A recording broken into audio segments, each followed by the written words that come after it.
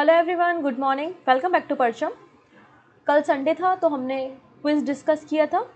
आज हम डिस्कस करने वाले हैं eighteen and nineteen of December के करेंट अफेयर्स और सबसे पहले हम बात करेंगे आज के इंपॉर्टेंट डेज़ के ऊपर। तो एटीन ऑफ़ दिसंबर को हम दो इंपॉर्टेंट डे सेलिब्रेट करते हैं। पहला है इंटरनेशनल माइग्रेंट्स डे और दूसरा minority rights day in India तो इन दोनों दिनों के बारे में बात करेंगे और आज मतलब नाइनटीन ऑफ़ दिसंबर को गोवा लिबरेशन डे है, क्योंकि पुर्तगालों से आज ही के दिन 19 दिसंबर को गोवा को आज़ादी मिली थी। तो तीनों दिनों के बारे में हम बात करेंगे।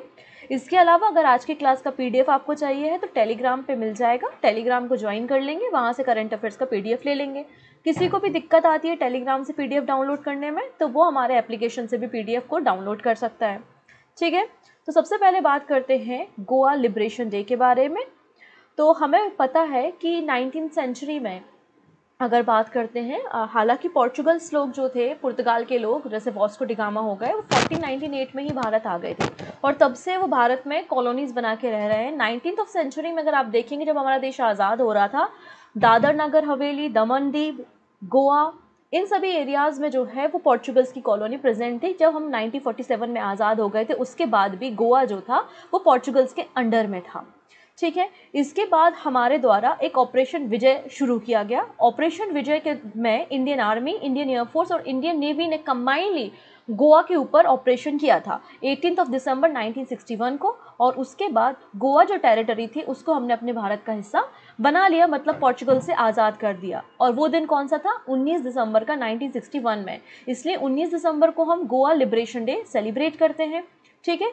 1961 में गोवा जो है, वो भारत का एक अभिन्न हिस्सा बना था। अगर हम गोवा के बारे में बात करते हैं तो आप यहाँ पे भारत के मैप में देखेंगे गोवा। गोवा अगर देखें तो सबसे छोटा स्टेट है गोवा। और गोवा के बारे में बात करते हैं तो आयरन एज से ही गोवा में रूल रहा है, मौर्यंस का एंड सातवाहन डायनेस्टी का। अगर हम मीडियवल हिस्ट्री में बात करते हैं तो विजयनगर एम्पायर बहमनी सुल्तान, बीजापुर के सुल्तान, वहाँ पे गोवा में रूल करते थे। और जब बीजापुर के सुल्तान गोवा में रूल कर रहे थे, उस समय ही पोर्चुगल ने गोवा को इन्वेट किया था और कॉलोनीज बना के उन्होंने रहना शुरू किया था। गोवा को एक राज्य का दर्जा, या स्टेटहुड हम देखें तो 1987 में मिला था और गोवा स्टेटहुड डे हम थर्टी ऑफ़ मे को मनाते हैं। तो दो अलग अलग दिन हैं। एक गोवा लिबरेशन डे है जब गोवा को पोर्चुगल से आज़ाद करके भारत का एक अभिन्न हिस्सा बनाया गया था। वो 19 दिसंबर 1961 की घटना थी। उसके बाद ये यूटी था हमारा। उसके बाद हमने इसको एक स्टेट का दर्जा दिया स्टेटहुड दिया 1987 में थर्टी ऑफ़ मे को। इसलिए थर्टी मई को जो है वो गोवा स्टेटहुड डे मनाया जाता है। गोवा की कैपिटल क्या है? पणजी है। यहाँ आप देखेंगे, यहाँ पर आपको पणजी देखने को मिलेगी। Governor P S Sreedharan Pillai हैं और चीफ मिनिस्टर प्रमोद सावंत जी हैं। और गोवा के तीन बार रहे मुख्यमंत्री मनोहर पारिकर जी के नाम पर गोवा में सेकेंड एयरपोर्ट भी बनाया गया है, जिसको आप मोपा इंटरनेशनल एयरपोर्ट भी बोल सकते हैं या मनोहर पारिकर एयरपोर्ट के नाम से भी आप इसको जानते हैं। चलिए नेक्स्ट बात करते हैं। Minorities rights day in India अल्पसंख्यक माइनॉरिटी मतलब होते हैं, अल्पसंख्यक अगर आप हमारे कॉन्स्टिट्यूशन में देखेंगे तो कहीं पे भी माइनॉरिटी ऐसा डिफाइन नहीं है, लेकिन माइनॉरिटीज़ के अधिकारों के बारे में ज़रूर चर्चा की गई है और ये बातें आपको आर्टिकल नंबर ट्वेंटी नाइन और आर्टिकल नंबर थर्टी में देखने को मिल जाएँगी। ठीक है? तो अगर हम बात करते हैं माइनॉरिटी डे प्रोग्राम के बारे में, इसे नेशनल कमीशन फॉर माइनॉरिटी के द्वारा मनाया जाता है सेलिब्रेट किया जाता है नई दिल्ली में। नेशनल कमीशन फॉर माइनॉरिटी 1992 में सेटअप की गई थी, उन्नीस सौ बानबे में। नेशनल कमीशन फॉर माइनॉरिटी को सेटअप किया गया था और इनके अंतर्गत पहले पाँच ऐसी कम्युनिटी थी जिनको माइनॉरिटी डिक्लेयर किया था। मतलब अल्पसंख्यक बताया गया था। वो पाँच कम्युनिटी कौन कौन सी थी? Christian, Muslim, Sikh Jui and Buddhist. लेकिन 2014 में जैन को भी जो है, वो माइनॉरिटी डिक्लेयर किया। इस तरीके से आज हमारे देश में छह माइनॉरिटी कम्युनिटी हैं। इनके राइट्स के लिए, इनके ऊपर चर्चा करने के लिए, काम करने के लिए नेशनल कमीशन फॉर माइनॉरिटीज़ को 1992 में बनाया गया था। और 18 दिसंबर को मतलब 18 दिसंबर 1992 को यूनाइटेड नेशन ने एक रेजोल्यूशन पास किया था और अडॉप्ट किया था कि जो माइनॉरिटीज़ हैं, उनके भी फंडामेंटल राइट को प्रोटेक्ट करने की ज़रूरत है। उनके लिंग्विस्टिक उनके रिलीजियस वैल्यूज़ उनके कल्चर को प्रमोट करने के लिए 18 दिसंबर को माइनॉरिटी राइट डे सेलिब्रेट किया जाता है। अगला दिन देखते हैं हम इंटरनेशनल माइग्रेंट्स डे। हमें पता है पूरे वर्ल्ड में, चाहे भारत हो, भारत में भी बहुत सारे माइग्रेंट आते रहते हैं और भारत के कई सारे लोग दूसरे देशों में एज अ माइग्रेंट वर्कर जाते रहते हैं। तो ये पूरे देश में ही आपने देखा होगा कि माइग्रेशन चलता रहता है जॉब के लिए फैमिली शिफ्ट हो जाती है। तो दिसंबर 18 में यूनाइटेड नेशन जनरल असेंबली के द्वारा डिसाइड किया गया कि जो माइग्रेंट वर्कर्स होते हैं, जो माइग्रेंट पीपल होते हैं, उनके भी अपने राइट्स होते हैं। ठीक है? उनका भी कंट्रीब्यूशन होता है। तो उन्हें याद करने के लिए 18 दिसंबर को इंटरनेशनल माइग्रेंट्स डे सेलिब्रेट किया जाता है और 1990 में यहाँ पर यूनाइटेड नेशन जनरल असेंबली के द्वारा इस रेजोल्यूशन को एक्सेप्ट किया गया था। तो तीन इंपॉर्टेंट डे हमने देख लिए हैं। अब बात करते हैं रिमेनिंग न्यूज़ के बारे में। न्यूज़ स्टार्ट करने से पहले एक छोटी सी जानकारी और दे देती हूँ मैं आपको कि परचम के एप्लीकेशन पे, जो परचम का एप्लीकेशन आपको प्ले स्टोर से मिलेगा, उसमें आपको एसएससी का कोर्स मिलेगा इंडिविजुअल कोर्स भी है और आपका कंप्लीट पैकेज भी है टेस्ट सीरीज़ के साथ, जिसमें बिगनर और एडवांस लेवल पे टेस्ट सीरीज़ अवेलेबल है। अगर आप एसएससी का कोर्स परचेस करना चाहते हैं तो आप वहाँ से परचेस कर सकते हैं। उसके लिए आपको पूजा टेन कोड का यूज़ करना पड़ेगा, जिससे आपको एडिशनल टेन परसेंट का ऑफ़ मिल जाएगा। चलिए स्टार्ट करते हैं आज का सेशन सबसे पहले है नीरज चोपड़ा। हम सभी को पता है ओलंपिक्स में अभी टोक्यो ओलंपिक जो हुए थे, उसमें इन्होंने जेवलिन थ्रो मतलब भाला फेंक में गोल्ड मेडल ला दिया था। तो Neeraj Chopra become the most written about athlete in 2022 तो 2022 पे सबसे अधिक जो डॉक्यूमेंट लिखे गए हैं या सबसे अधिक जो पोस्ट किए गए हैं किसी पर्सन पे एथलीट में तो वो कौन है? नीरज चोपड़ा है। और इन्होंने जमैका के जो एथलीट है उसेन बोल्ट उन्हें रिप्लेस किया है इस लिस्ट में। तो according to the world athletics Tokyo Olympic gold medallist javelin thrower Neeraj Chopra of India was the most written about track and field athlete in 2022, displacing the Jamaica legend Usain Bolt from the top list ठीक है? इतनी चीज़ें clear हो गई? इनके ऊपर 812 article publish हुए हैं 2022 में। नीरज चोपड़ा जो हैं बहुत ही सक्सेसफुल एथलीट रहे हैं क्योंकि ये दूसरे नंबर पे अगर देखा जाए तो ये ओवरऑल सेकेंड इंडियन बन गए जिन्होंने वर्ल्ड मेडल जीता था। इसके पहले अंजू बॉबी जॉर्ज ने ब्रॉन्ज मेडल जीता था वीमेंस लॉन्ग जंप 2003 में। और अब वर्ल्ड एथलीट चैंपियनशिप में सिल्वर मेडल जीतने वाले कौन बन गए हैं? नीरज चोपड़ा बन गए और ये सेकेंड इंडियन है जिन्होंने वर्ल्ड एथलीट में कोई मेडल हासिल किया है। ठीक है, इसके अलावा लास्ट अभी बात करते हैं इस साल हमने दो महीने पहले ही डिस्कस किया था कि नीरज चोपड़ा जो है वो पहले एथलीट बने थे जिन्होंने डायमंड लीग फाइनल खेला था, ठीक है? First athlete from India to win the diamond league final in this year चलिए, अगले पर्सन के बारे में बात करते हैं एस जयशंकर जी। जैसा कि आप लोग को पता है यूनाइटेड नेशन सिक्योरिटी काउंसिल ठीक है? उसमें आपको ये बात तो बिल्कुल क्लियर हो चुकी है कि पंद्रह मेंबर होते हैं, पाँच परमानेंट होते हैं और दस जो है वो टेम्प्रेरी मेंबर होते हैं, जो दो दो साल के लिए अपॉइंट किए जाते हैं। तो अभी भारत जो था वो यूएनएससी का टेम्प्रेरी मेंबर था और भारत की जो प्रेसिडेंसी थी या भारत का जो टेन्योर था दो साल का, वो दिसंबर इकतीस इकतीस दिसंबर को ख़त्म होने वाला है। इकतीस दिसंबर को ख़त्म होने वाला और दिसंबर महीने की जो प्रेसिडेंसी है, वो भारत के पास ही है। मतलब प्रेसिडेंसी कौन कर रहा है? भारत कर रहा है, एस जयशंकर कर रहे हैं। तो यहाँ पर उन्हीं से रिलेटेड छोटी सी न्यूज़ है कि for which term India candidate for U N S C has been declared by the external affair minister Jaishankar तो जयशंकर जी के द्वारा भारत को जो टेम्प्ररी प्रेसिडेंसी देने की बात की जा रही है, वो कब के लिए की जा रही है? तो आंसर हो जाएगा 2028 29 2028 2029 के लिए भारत जो है वो अगेन नॉन परमानेंट मेंबर रहेगा यूएनएससी का। इसके पहले भारत 1950 से 1951 1960 768 1972 73 1977 78 1984 85 1991 92 2011 2012 और अब 2021 और 22 इतनी बार यूएनएससी की जो है नॉन परमानेंट या जो प्रेसिडेंसी होती है या मेंबरशिप होती है, वो उसने होल्ड की है। ठीक इतनी चीज़ें? चलिए नेक्स्ट बात करते हैं।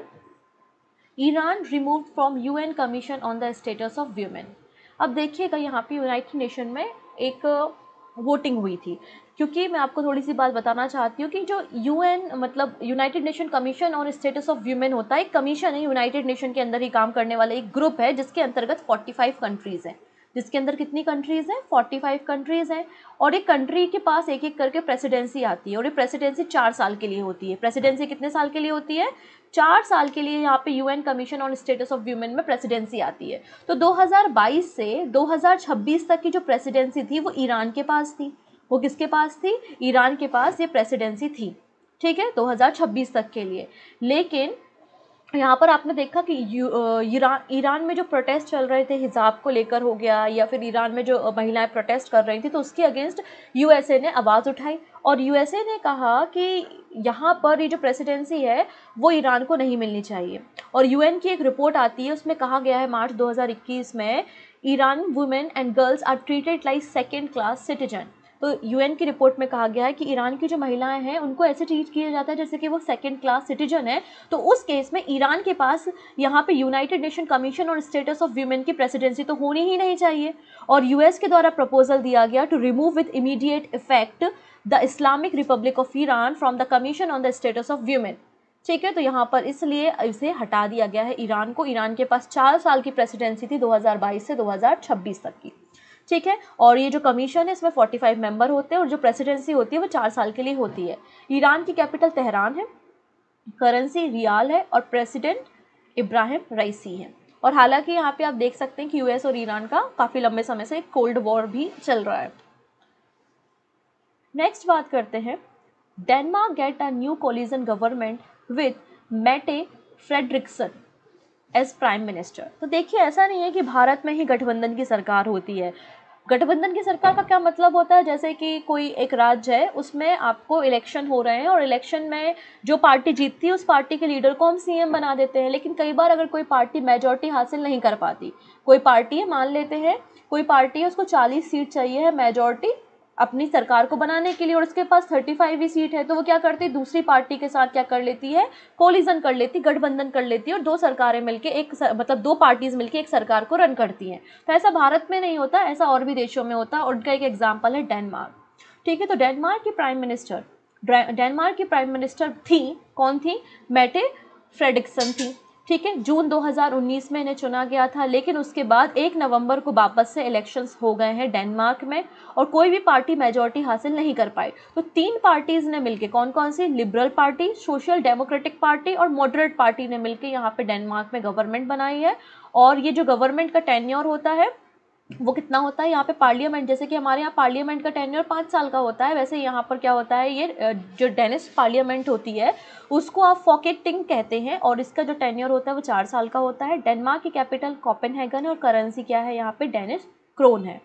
ठीक है तो डेनमार्क की जो नई प्राइम मिनिस्टर बन गई हैं, वो कौन बन गई हैं? फिर से बन गई हैं मैटे फेडरिक्सन नेक्स्ट बात करेंगे यू यूथ कोलैब के बारे में। आप लोग ने यूनाइटेड नेशन डेवलपमेंट प्रोग्राम का नाम ज़रूर सुना होगा। आप लोगों ने नीति आयोग का नाम भी सुना होगा। आप लोगों ने ए आई एम मतलब अटल इनोवेशन मिशन के बारे में भी ज़रूर सुना होगा। तो इन तीनों संस्थाओं के मिलके, के द्वारा मिलके यूथ कोलैब चलाया जाता है। यूथ कोलैब की शुरुआत 2019 में UNDP partner with Atal innovation mission और नीति आयोग के सहयोग से किया गया था। ठीक है? तो इसका फिफ्थ नंबर का एडिशन हो रहा है। पाँचवें नंबर का एडिशन यूथ कोलैब का कंडक्ट कराया जा रहा है with the help of again NITI Aayog, Atal innovation mission and UNDP India ठीक है? इसके अंतर्गत क्या किया जाता है? जो यूथ होते हैं, जो यंगस्टर होते हैं इंटरप्रेन्योर होते हैं, उनको इनवाइट किया जाता है। और कैसे? क्योंकि इसका रोल क्या है कि जो आपके यूथ है, जो स्टार्टअप है, वो किसी भी देश के जो सस्टेनेबल डेवलपमेंट गोल्स के टारगेट है, उनको अचीव करने में और उस देश की जो जीडीपी है, उसको इम्प्रूव करने में मदद करते हैं। इसलिए यहाँ पर फिफ्थ नंबर के एडिशन को यूथ कोलैब को बुलाया गया है। इसका एडिशन हो रहा है। और इस एडिशन को लॉन्च किसने किया? चिंतन वैष्णव ने। और चिंतन वैष्णव क्या? उन्हें mission director Atal innovation mission के। ठीक है? नेक्स्ट है. AIIMS Delhi campus declare tobacco free zone तो एम्स दिल्ली एम्स दिल्ली का फॉर्मेशन अगर हम देखते उन्नीस में हुआ था। उन्नीस सौ छप्पन वही समय जब फजल अली कमेटी की रिपोर्ट आई थी और उसके बाद चौदह अलग अलग राज्यों का फॉर्मेशन हुआ था। तो उन्नीस जो है 1956 में एम्स का भी फॉर्मेशन हुआ था और एम्स जो है, वो मिनिस्ट्री ऑफ़ हेल्थ और फैमिली वेलफेयर के अंदर काम करता है। तो एम्स का जो कैंपस एरिया है all India institute of medical science जो कि एनसीआर रीजन में है, अपनी नई दिल्ली में है, उसे टेबैको फ्री जोन डिक्लेयर किया है। और ऐसा किसने किया है? डॉक्टर एम श्रीनिवास, जो कि डायरेक्टर हैं एम्स दिल्ली के। और इसमें स्ट्रिक्टली कहा गया कि जो डॉक्टर है, परमानेंट स्टाफ है या टेम्प्रेरी स्टाफ है और सिक्योरिटी स्टाफ है, वो स्मोकिंग नहीं करेगा, टेबेको का यूज़ नहीं करेगा, हॉस्पिटल प्रमाइसिस के अंदर अगर ऐसा करते हुए पाया जाता है तो वो पनिशबल ऑफेंस होगा। इसके अलावा प्रमाइसिस के अंदर जो पेशेंट आते हैं, पेशेंट्स के रिलेटिव आते हैं, उनके लिए भी प्रमाइसिस के अंदर स्मोकिंग करना या टबैको का यूज़ करना अलाउड नहीं है और इसके ऊपर फाइन लगाया जाएगा। टू हंड्रेड रुपीज़ ऐसा एम्स के डायरेक्टर डॉक्टर एम श्रीनिवास ने कहा है। नेक्स्ट बात करते हैं कॉप फिफ्टीन के बारे में। कॉप फिफ्टीन के बारे में थोड़ी सी चर्चा कर लेते हैं। COP fifteen biodiversity conference in Montreal Canada Montreal कहाँ है? कैनेडा में तो यहाँ पर 29 नई स्पीसीज़ को अंडर थ्रेड आई की रेड लिस्ट में शामिल किया गया है, ठीक है? 29 नई स्पीसीज़ है भारत की, जिनको IUCN की रेड लिस्ट में शामिल किया है। मतलब red list of threatened species जो है, उसको अपडेट किया गया है कॉप फिफ्टीन में, जो कि कनाडा मॉन्ट्रियल में मॉन्ट्रियल कनाडा में हो रही थी। अभी international union for conservation of nature red list of threatened species जिसको IUCN रेड लिस्ट भी कहते हैं, या इसी को आप रेड डेटा बुक के नाम से भी जानते हो इसका फॉर्मेशन उन्नीस सौ चौंसठ। 1964 में हुआ था। 1964 में हुआ था और ये डेटा बुक आपको बताती है कि पूरे वर्ल्ड में कौन कौन सी स्पीसीज़ हैं, उनका क्या बायोलॉजिकल स्टेटस है मतलब वो थ्रेटेंड है, इंडेंजर है एक्सटेंट हो चुकी हैं। ठीक है, ये जानकारी देते हैं। तो यहाँ पर मैं आपको तीन स्पीसीज़ के बारे में बता रही हूँ, जिनको आईओसीएन की रेड लिस्ट में शामिल किया है, जो भारत के कुछ इलाकों में पाई जाती हैं। जैसे कि सबसे पहले ये आप फ्रॉग देख रहे होंगे। ये इसका वाइट चीक डांसिंग फ्रॉग ठीक है ये इंडेंजर कैटेगरी में शामिल किया गया और बेसिकली जो आपका वेस्टर्न घाट का एरिया है वेस्टर्न घाट कर्नाटका में ही एकमात्र लोकेशन पे आपको ये फ्रॉग देखने को मिलेगा। इसे इंडेंजर कैटेगरी में शामिल किया गया है। नेक्स्ट है, अंडमान की स्मूथ हाउंड शार्क शार्क तो ये जो स्मूथ हाउंड शार्क है, इसको बनरेबल लिस्ट में शामिल किया गया और ये अंडमान में पाई जाती है। ठीक है? नेक्स्ट बात करते हैं, ये है yellow Himalayan prettily plant basically इसको जंगली लहसुन के नाम से बेचा जाता है, जिसके कारण ये अगेन IUCN की इंडेंजर कैटेगरी की लिस्ट में शामिल हो गई है।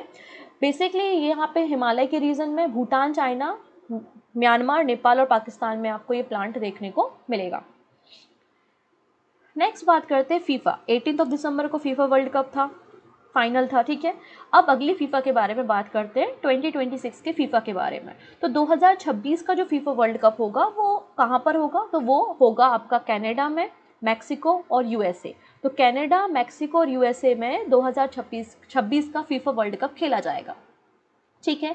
फिर आप देख रहे होंगे कि 2026 लिखा हुआ और बाजू बाजू में जो है वो मोरक्को लिखा है। अब यहाँ पर क्या होने वाला है, उसके ऊपर भी चर्चा कर लेते हैं, लेकिन सबसे पहले मोरक्को की लोकेशन हम मैप में समझेंगे। ये हमारा वर्ल्ड का मैप है, इसमें ये North America South America Australia Eurasia Europe और एशिया उसके बाद आप यहाँ देखेंगे अफ्रीका अफ्रीका कॉन्टिनेंट जिसको आप डार्क कॉन्टिनेंट भी कहते हैं, इस अफ्रीका कॉन्टिनेंट में आपको यहाँ पे एक सिटी देखने को मिलेगी विच इज़ मोरक्को ठीक है? अब यहाँ पे क्या होगा? 2026 में फीफा क्लब चैंपियनशिप होगी। फीफा क्लब चैंपियनशिप 2026 में कहाँ पे खेली जाएगी? मोरक्को में खेली जाएगी। लोकेशन आपको क्लियर हो गया है। ठीक है? अच्छा लोकेशन से एक और चीज़ मुझे याद आ रही है। यहाँ पर देखिएगा, ये जो है, ये आपका साउथ अफ्रीका कहलाता है, क्योंकि अफ्रीका के साउथ में, इसलिए इसको साउथ अफ्रीका कहते हैं। ठीक है ना? आज तो अलग अलग देश है यहाँ पर, है ना? लेकिन आज से अगर आप बात करते हैं, नाइनटीन सेंचुरी, एटीन सेंचुरी के बारे में तो यहाँ पर दो इंडिविजुअल यहाँ पर प्रोविंस हुआ करते थे। एक था नटाल प्रोविंस ठीक है? तो यहाँ इस नटाल प्रोविंस में कौन रहा करता था? महात्मा गांधी रहा करते थे। ठीक है तो महात्मा गांधी जी की बायोग्राफी मैंने आप लोगों के लिए लेकर आई, क्योंकि लंबे समय से डिमांड थी तो इसका पार्ट वन आज आपको मिल जाएगा। पार्ट वन आज आपको मिल जाएगा और थर्सडे को इसका आपको पार्ट टू देखने को मिल जाएगा। तो पार्ट वन में मैंने क्या डिस्कशन किया है? पार्ट वन में मैंने गांधी जी की लाइफ, अर्ली लाइफ के बारे में, उनकी एजुकेशन के बारे में, फिर वो लंदन जाते हैं एजुकेशन के लिए, उसके बाद साउथ अफ्रीका में वो क्या क्या काम करते हैं? मतलब 1893 से आप देखेंगे 1915 तक जब तक वो भारत वापस नहीं आते, तब तक मैंने पार्ट वन में डिस्कस किया है। सेकेंड होगा 1915 से लेकर 1947 तक इसको हम पार्ट टू में डिस्कस करेंगे विथ एमसीक्यू तो अगर आपने नहीं देखा है मतलब देख लेना, आज आपको ये मिलेगा। और अगर आप बाद में देखना चाहो तो प्लेलिस्ट मिल जाएगी। प्लेलिस्ट में मैंने 20 से ज़्यादा जो हमारे इंडियन फ्रीडम फाइटर में हीरो रहे हैं फाइटर्स रहे हैं, उनको, उनकी बायोग्राफी वहाँ पर ली है तो आप उनको पढ़ सकते हैं। नेक्स्ट है Morocco to host the next football club world cup next year FIFA तो फीफा ने, देखो, यहाँ पर अगर हम बात करते तो कतर में फीफा वर्ल्ड कप चल रहा था तो फीफा वर्ल्ड कप में जो फीफा के प्रेसिडेंट हैं, उनका नाम क्या है? गिन्नी इन्फेंटिनो है। उन्होंने रिसेंटली अनाउंस किया है कि जो नेक्स्ट मतलब 2023 में 2023 में मोरक्को में फुटबॉल क्लब वर्ल्ड कप का आयोजन किया जाएगा। कोई मोरक्को इस टूर्नामेंट को पहली बार आयोजित नहीं कर रही है। 11 फरवरी 2023 में फुटबॉल क्लब खेला जाएगा, वर्ल्ड क्लब वर्ल्ड कप। और मोरक्को इसको तीसरी बार होस्ट करने वाला है। 2013 में भी इसने होस्ट किया था 2014 में भी होस्ट किया था, अब 2022 में भी 2023 में भी इसे होस्ट करने वाला है। अगर हम लास्ट टूर्नामेंट के बारे में बात करते हैं लास्ट एडिशन के बारे में बात करते हैं तो लास्ट एडिशन जो था वो यूएई में खेला गया था। यूएई में खेला गया था और इसमें इंग्लैंड का जो फुटबॉल क्लब है चेल्सा उसने इसको जीता था। ठीक है? और यहाँ पे जो गिनी इन्फेंटिनो है, जो कि प्रेसिडेंट है फीफा के, उन्होंने अनाउंसमेंट ये भी की है कि 2025 से जो फीफा में टीम्स खेलेंगे, वो 32 टीम्स को फीचर्स किया फीचर किया जाएगा। ठीक है, अगर हम फीफा क्लब वर्ल्ड कप के बारे में बात करते हैं तो all over the India sorry all over the world अलग अलग आपको फुटबॉल के क्लब्स देखने को मिलेंगे और इन क्लब के बीच में जो चैंपियनशिप होती है, उसे ही हम फीफा क्लब वर्ल्ड कप कहते हैं। इसकी शुरुआत ब्राज़ील ने की थी और 2000 में इसकी शुरुआत हुई थी और पहला जो वर्ल्ड कप हुआ था क्लब वर्ल्ड कप वो ब्राज़ील में ही खेला गया था। ठीक है, सबसे अधिक बार अगर हम बात करते कि विजेता टीम कौन सी रही है, सबसे सक्सेसफुल टीम कौन सी रही है तो वो रियल मैड्रिड रही है, जो कि स्पेन का क्लब है। और इसने maximum four time FIFA club world cup को जीता है। अगर हम करंट चैंपियन देखते तो अभी मैंने बताया कि लास्ट एडिशन यूएई में हुआ था और चैंपियन कौन है current champion Chelsea club of England है। चलिए नेक्स्ट है। ये है अनुराग ठाकुर जी, जो हमारे खेल मंत्री हैं। तो Anurag Thakur unveil, hockey world cup trophy in Delhi. तो ये जो ट्रॉफ़ी है, ये एफ़ आई एच जो मेंस वर्ल्ड कप 2023 में होने वाला है। उसी की ट्रॉफ़ी है। आइए इसके ऊपर चर्चा करते हैं। Sport minister Anurag Thakur unveil, hockey world cup trophy. तो जो हमारा F I H men's world cup होने वाला है, जो कि राहुल केला और उड़ीसा में खेला जाएगा, भुवनेश्वर में खेला जाएगा 2023 में। तो इसकी जो ट्रॉफ़ी है विनिंग ट्रॉफ़ी उसको अनवील किया है अनुराग ठाकुर जी के द्वारा कहाँ पर? मेजर ध्यानचंद्र नेशनल स्टेडियम, जो कि आपको नई दिल्ली में देखने को मिलेगा।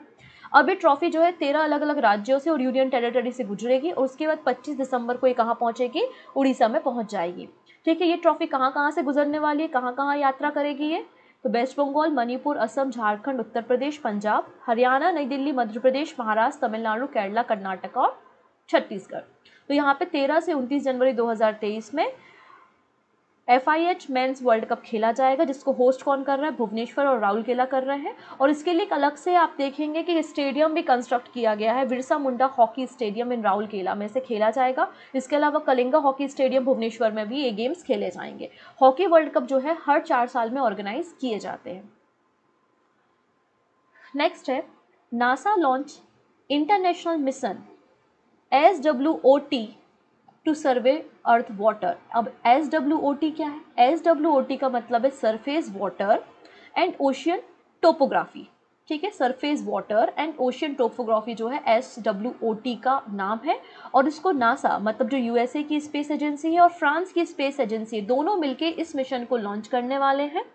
ठीक है? और इस मिशन का काम क्या होगा? Survey earth water space X Falcon nine की मदद से इस रॉकेट को लॉन्च किया जाएगा। कैलिफ़ोर्निया यूएसए से इसको लॉन्च किया जाएगा। और इसका जो लाइफ होगा मतलब इस मिशन का, ये तीन साल का होगा। अब ये मिशन क्या करेगा? तो ये मिशन क्या करेगा? हमारा जो अर्थ सरफेस है between seventy eight seventy eight degree south से सेवेंटी एट डिग्री नॉर्थ का जो लेटीट्यूड है ना, उसके बीच में जितने भी वाटर बॉडी हैं उनका सर्वे करेगा, हमारे हमारे पूरे वर्ल्ड में जितनी भी आपकी फ्रेश वाटर लेक्स हैं या वाटर लेक्स हैं, कितनी लार्ज है, कितने बड़े एरिया में है और जो नदियाँ हैं, वो कितनी वाइड हैं, है ना? इन सब चीज़ों का सर्वे यहाँ पे किया जाएगा। तो according to the NASA S W O T will cover the entire earth surface between 78 degree south to 78 degree north latitude at least once every 21 days तो हर इक्कीस दिन में पूरा सर्वे किया जाएगा और डेटा प्रोवाइड किया जाएगा अर्थ स्टेशन पे।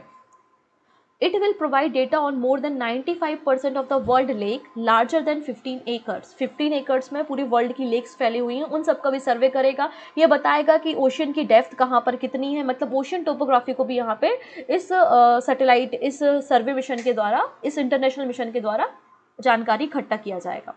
ठीक है तो नासा के द्वारा और फ्रांस की स्पेस एजेंसी के द्वारा ये कंबाइंड मिशन है एस डब्ल्यू ओ टी अगर हम नासा के बारे में बात करते हैं national aeronautics and space administration है ठीक है अमेरिका की आ, अमेरिका गवर्नमेंट के द्वारा चलाई जाने वाली एक स्पेस एजेंसी है और इसकी स्थापना 1958 में हुई थी जिसका एक ही मकसद है आउटर स्पेस को और अर्थ एटमोसफियर को एक्सप्लोर करना। ठीक है? अब नासा देखो, जैसे कि हमारे यहाँ पे अगर जब हम किसी रॉकेट को लॉन्च करते हैं तो आप हमेशा सुनते हैं कि सतीश धवन श्री हरिकोटा से हम अपने रॉकेट को लॉन्च करते हैं। क्योंकि जहाँ स्टेशन होगा स्टेशन हमेशा इक्वेटर के पास और समुद्र के पास बनाए जाते हैं। तो यहाँ पर जो नासा है, दो अलग अलग जगहों से अपने रॉकेट को लॉन्च करता है। एक है एफ़ कैनेडी स्पेस सेंटर जो कि आपको फ्लोरिडा में देखने को मिलेगा, और दूसरा है आपका Vandenberg space force base California, USA में देखने को मिलेगा। नासा का हेड ऑफ़िस आपको वॉशिंगटन डीसी में देखने को मिलेगा। वहीं इसके एडमिनिस्ट्रेटर कौन है? विल नेल्सन है। चलिए, ये लास्ट न्यूज़ है, उसके बाद हम कुछ एमसीक्यू को देखते हैं।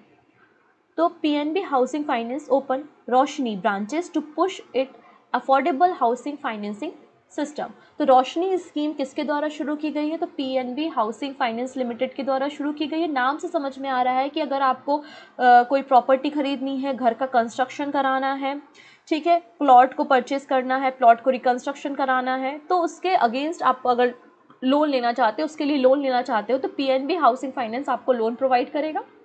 पाँच लाख से लेकर तीस लाख तक का ये लोन प्रोवाइड किया जाएगा और इसके लिए पीएनबी हाउसिंग फाइनेंस के द्वारा रोशनी ब्रांचेस बनाई जाएँगी अलग अलग एरियाज़ में। वो एरिया कौन कौन से हैं? तो चेन्नई कोयम्बतूर गाजियाबाद हैदराबाद इंदौर लखनऊ मुंबई नागपुर पुणे राजकोट और वाराणसी इन अलग अलग एरिया में पीएनबी हाउसिंग फाइनेंस के द्वारा रोशनी ब्रांचेस को ओपन किया जाएगा। अब अब ये पीएनबी हाउसिंग फाइनेंस लिमिटेड जो है वो सब्सिडरी कंपनी है पीएनबी बैंक की। मतलब पंजाब नेशनल बैंक की इसका मतलब पूरी तरीके से ऑपरेट किससे होगी ये? आरबीआई से होगी। PNB housing finance limited non banking financial company है मतलब एक एनबीएफसी है। एनबीएफसी जिसका हेड ऑफ़िस आपको नई दिल्ली में देखने को मिलेगा। और इसकी टैगलाइन देखेंगे, घर की बात। टैगलाइन आप देख सकते हैं, घर की बात इसकी टैगलाइन है। और इसके डायरेक्ट मैनेजिंग डायरेक्टर और चीफ एग्जीक्यूटिव ऑफिसर कौन है? गिरीश जी हैं। ठीक है तो ये आज के हमारे करेंट अफेयर्स थे। अब बात कर लेते हैं रिवीजन क्वेश्चन के बारे में। पहला क्वेश्चन है India has receive all thirty six Indian air air force Rafale aircraft from the France recently जैसा कि मैंने बताया था, छत्तीस के छत्तीस फाइटर जेट हमको मिल चुके हैं। क्वेश्चन ये पूछा जा रहा है कि जो राफेल एयरक्राफ्ट है, वो किस कंपनी के द्वारा डिज़ाइन किए गए हैं? तो कल मैंने डिस्कस किया था आपको डसॉल्ट एविएशन के बारे में। तो डसॉल्ट एविएशन के द्वारा यहाँ पर ये एयरक्राफ्ट तैयार किए गए हैं। नेक्स्ट है the government has granted G I geographical indication tag to gamchha recently gamchha इस प्रोडक्ट ऑफ़ विच स्टेट तो गमछा जो है, वो असम का प्रोडक्ट है। कहाँ का प्रोडक्ट है ये? असम का प्रोजेक्ट है। ऑप्शन सी करेक्ट हो जाएगा। अब रिसेंट में कुछ और जो जी आई टैग दिए गए हैं, आप उनका स्क्रीनशॉट ले सकते हो और इनको एक बार पढ़ सकते हैं। ठीक है ना? जुडीमा राइस अभी जो पेपर हुए थे, उसमें ये क्वेश्चन पूछा गया था असम का जी आई टैग है ये। ओके नेक्स्ट है which of the following cities had made solar panel mandatory for the new homes to be build after 2025 ऐसी कौन सी सिटी है जिसने कहा है कि 2025 के बाद जो भी घरों का कंस्ट्रक्शन होगा, उसमें सोलर पैनल मैंडेटरी होंगे? तो वो आंसर हो जाएगा Tokyo Japan option D is the right answer Surya Kiran exercise हम सभी को पता है कि सूर्य किरण एक्सरसाइज जो है, एक जॉइंट मिलिट्री ट्रेनिंग एक्सरसाइज है इंडिया और नेपाल के बीच में होती है और इस साल नेपाल में कंडक्ट हो रही है। कौन सा एडिशन है, ये पूछा गया है। तो सूर्य किरण एक्सरसाइज का ये सोलवा एडिशन है sixteen edition option B is the right answer next है who has won the man single title after defeating Indonesia Anthony Ginting at the season ending world tour final in Bangkok तो world tour final में man single का title किसने जीता है? तो ये title जीता है विक्टर एक्सलसन ने। किसने जीता है ये? विक्टर एक्सलसन ने जीता है। ऑप्शन डी बिल्कुल करेक्ट है। This is question of the day United Nations member state have which of the following country from U N women's right group recently तो U N women's right group से किसे recently remove किया गया है United nation के द्वारा? Iran Iraq UAE या फिर सीरिया जो भी आपका आंसर होगा वो आप हमें कमेंट में दीजिएगा। सही आंसर भी मैं आपको वहीं पर प्रोवाइड कर दूँगी ओके सो so, मिलते हैं नेक्स्ट सेशन में ऐसे ही कुछ नए करेंट अफेयर्स के साथ। Take care and bye bye